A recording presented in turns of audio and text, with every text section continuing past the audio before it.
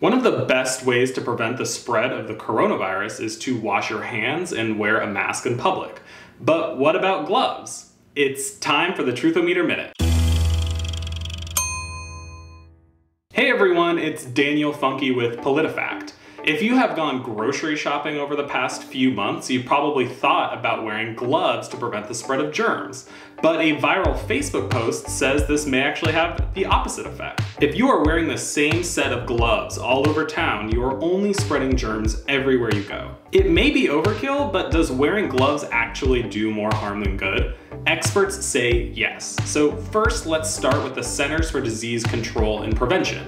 It says in its official guidance that not everyone needs to wear gloves while in public. For the general public, CDC recommends wearing gloves when you are cleaning or caring for someone who is sick. In most other situations, like running errands, wearing gloves is not necessary. The CDC isn't alone in this guidance. Infectious disease experts across the country agree that it is a bad idea to wear gloves while running errands. The problem is that many people don't know how to put on or dispose of gloves properly.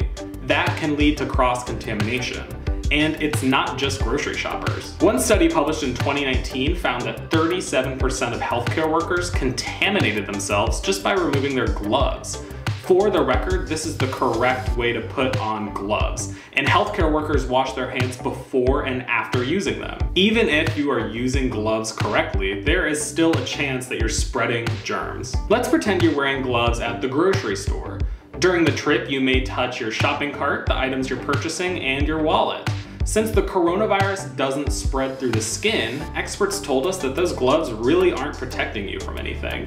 You still may touch your face or come too close to an infected person, and afterward you may forget to wash your hands, which defeats the entire purpose. Time for the verdict. This Facebook post rates true. Thanks to our partners at PolitiFact Wisconsin for this reporting.